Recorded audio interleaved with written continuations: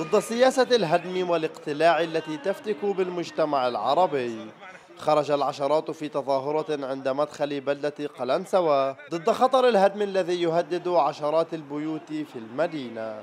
جاي أوصل صوتي للمسؤولين إنه دارنا ما لناش غيرها أنا واولادي أنا مرة أرملة وأنا بدي أعيش بدار بأمان. ما فيش شيء ما لناش محل ثاني نروحه. ما لناش محل شيء ثاني اللي نعيش فيه غير هالدار اللي بدهم يجي يهدونا إياها. أولاد شعر افرايم يعيشوا بأمان واولادنا لا ليش؟ ليش؟ ليش هم بني آدمين وإحنا مش بني آدمين مثلا؟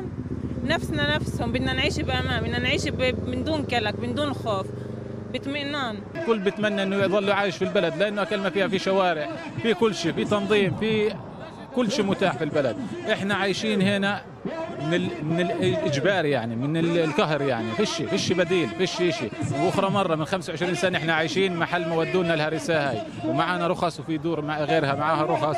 والجيران اللي أجوا يعني ما انطوهمش رخص مش لأنهم بدهم مش يعملوا رخص لأنه فيش رخص. بنطوش مجال لرخص 25 منزلا بني على أراض خاصة تلقى أصحابها أوامر استدعاء تمهيدا لأوامر الهدم.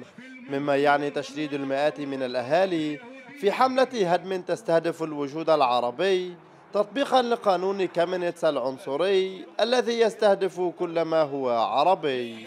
هي حملة عمليا على البلدات العربية هدم البيوت هدم المنازل مرة عندك خط كهرباء مرة عندك خط مياه مرة عندك كامينيتس هاي التخطيط المعادل للعرب يجب أن يتوقف وفقط عمليا آه، العمل الجماعي والنضال الجماهيري والبرلماني.